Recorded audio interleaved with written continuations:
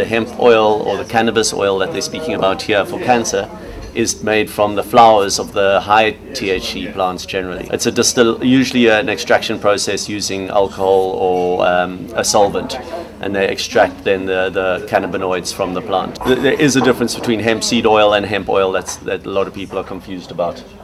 But these, these products can all become a, a byproduct for the medicinal industry because if you're growing a lot of cannabis for for medicinal, you're going to be left with all your stalks. You're going to be left with uh, your like all the, the fiber.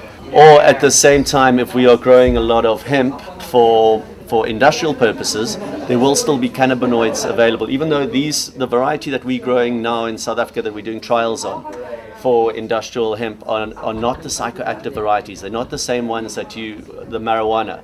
They've low THC. They've got no. They don't make you high at all but they do have other medicinal cannabinoids in, like the one for epilepsy, which is called CBD, cannabidiol.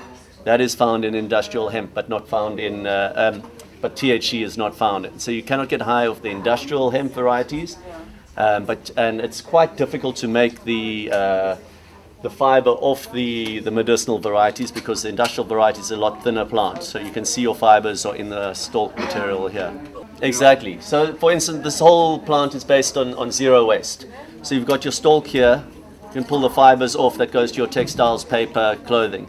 Your stalk, the, the remainder is that that goes into the chipboard or the hempcrete, into the construction materials. So the, the seeds go into your food or into your cosmetic products with the oil or into the, the protein products.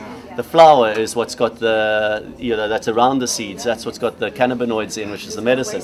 The roots you can use as well. They say are very good for, for analgesic, for anti-pain as well. Um, and I mean, there's carpets there, there's, there's twine.